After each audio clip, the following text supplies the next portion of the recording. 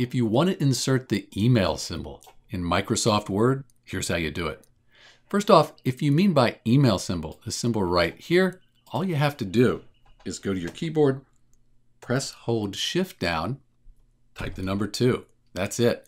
And you can format this. This is text. You can change the font or the color, any of those things. If you want something a bit fancier, you can do it like this. Go to Insert, Icons, and then search for email. And then you have these options here. You can choose different options for that.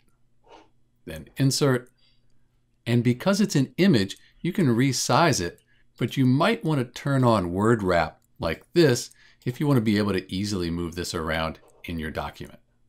Okay, if you want to use this here, this is the more generic email symbol, hold the Alt key and press 9993, and that drops it in.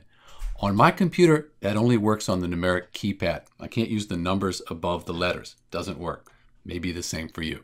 So those are three ways you can insert the email symbol here in Microsoft Word. There are others, but these are the three that I tend to use. This is Dr. B. Thanks for watching.